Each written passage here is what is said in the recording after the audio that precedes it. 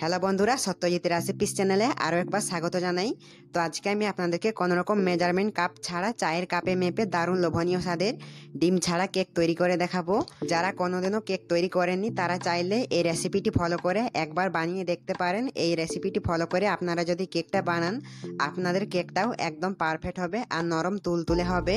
তো আশা করছি আজকের রেসিপিটি সবার কাছে ভালো লাগবে। তো চলুন দেখে নেওয়া যাক আজকের কেকের রেসিপি এই ডিম ছাড়া কেক তৈরি করার জন্য প্রথমে হাঁড়িটাকে তৈরি করে নিতে হবে। তার জন্য আমি একটা হাঁড়ি চুলার মধ্যে চাপিয়ে তার মধ্যে দিয়ে দিয়েছি পর্যাপ্ত পরিমাণে বালি। তো চাইলে আপনারা লবণ দিতে পারেন। এখন হচ্ছে এর মধ্যে এরকম একটা স্ট্যান্ড দিয়ে দিচ্ছি। এটা যদি না থাকে আপনারা যে কোনো ছোট বাটি দিয়ে দেবেন। এখন চুলার আঁচ হাইতে রেখে এই হাঁড়িটাকে চাপা দিয়ে দশ মিনিটের জন্য পিহিট করে নিতে হবে। আর এ সময় ঢাকনার মধ্যে যে ছিদ্রটা রয়েছে সেইটাকে বন্ধ করে দিতে হবে। তো এখন যে বাটিটার মধ্যে আমরা কেকটাকে বেক করে নেব, সেই বাটিটাকে নিয়ে নিয়েছি। তো আমি এখানে এরকম একটা অ্যালুমিনিয়ামের বাটি নিয়েছি। আপনাদের বাড়িতে যেরকম বাটি আছে সেই রকমই বাটি নিয়ে নেবেন। এখানে কিন্তু স্টিলের বাটি নেওয়া যাবে না। তো এই বাটির মধ্যে একটু সাদা তেল দিয়ে এই বাটিটা চারোপাশে মাখিয়ে নিচ্ছি। তেলটাকে ভালো করে মাখানো হয়ে গিয়েছে। আর এরকম করে আমি কয়েকটা কাগজ কেটে নিয়েছি। একটা গোল করে কেটে নিয়েছি, বাটিটার মাপ করে, আর এরকম লম্বা লম্বি করে দুটো কাগজ কেটে নিয়েছি। তো এই গোল কাগজটাকে এখন বাটিটার মধ্যে দিয়ে দিচ্ছি। তো বাটিটার মাপ করে অবশ্যই কেটে নেবেন। তারপর যে লম্বা কাগজগুলো কেটে নিয়েছিলাম, সেই কাগজগুলোকে দিয়ে দিচ্ছি। এই কাগজগুলোকে সাইডে দিয়ে দিচ্ছি। এখন হচ্ছে আবারও তেল দিয়ে এই কাগজের উপরে ভালো করে মাখিয়ে নিচ্ছি। তেলটাকে মেখে নিলে কিন্তু এই বাটিটা তৈরি হয়ে যাবে। তো আমার বাটিটা এখন পুরোপুরি তৈরি। এখন বাটিটাকে আমি এক সাইডে রেখে দিচ্ছি। এখন কেকের ব্যাটারটাকে তৈরি করে নেব।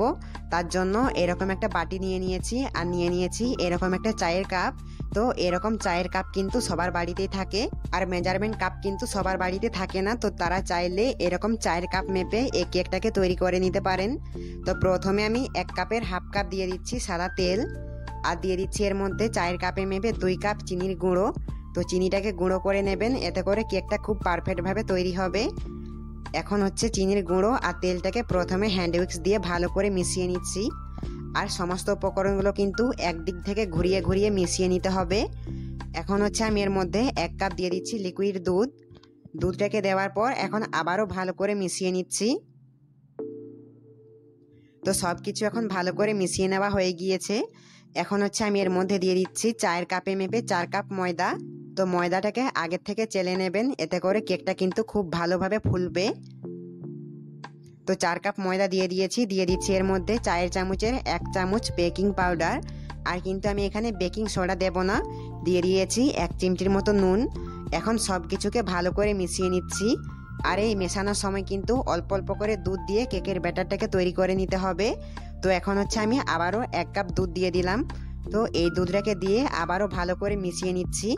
তো এই কেকের ব্যাটারটাকে তৈরি করে নিতে আমার লেগেছে চার কাপ দুধ। তো যতটুকু ময়দা নেবেন, ঠিক ততটুকুই দুধ নেবেন। এতে করে কেকের ব্যাটারটা একদম পারফেক্ট হবে। তো দেখুন, কেকের ব্যাটারটাকে মেশানোর সময় এইভাবে একদিক থেকে ঘুরিয়ে ঘুরিয়ে মিশিয়ে নিতে হবে। এই ব্যাটারটাকে এদিক ওদিক করে মেশালে কিন্তু এই কেকটা ভালো মতো ফুলবে না। তো তাই একদিক থেকে ঘুরিয়ে ঘুরিয়ে এই ব্যাটারটাকে মিশিয়ে নিতে হবে। তো আমার কেকের ব্যাটারটা ভালো করে মেশানো হয়ে গিয়েছে। এই কেকের ব্যাটারটাকে এই ফেটিয়ে নিতে আমার সময়টা লেগেছে চার মিনিটের মতো। আপনাদের সময়টা কম কিংবা বেশি লাগতে পারে।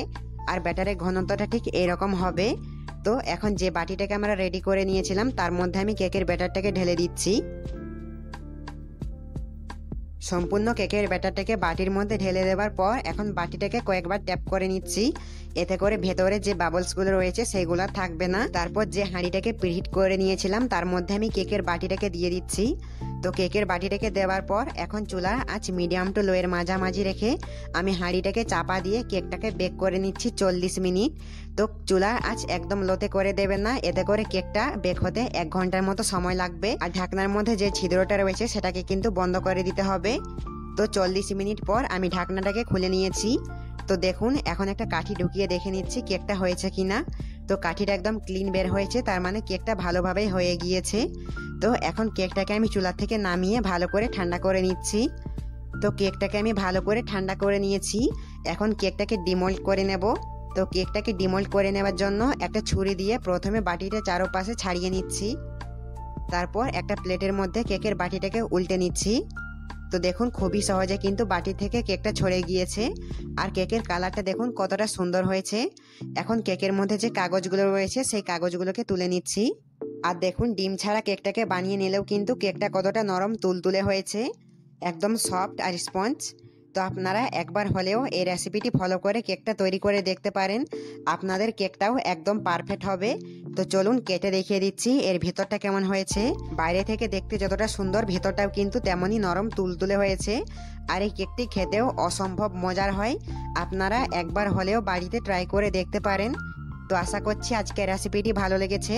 রেসিপি ভালো লেগে থাকলে চ্যানেলটিকে সাবস্ক্রাইব করে নেওয়ার অনুরোধ রইল। তো আজকের মতো ভিডিওটাকে এখানেই শেষ করছি। ভিডিওটি শেষ পর্যন্ত দেখার জন্য অসংখ্য ধন্যবাদ।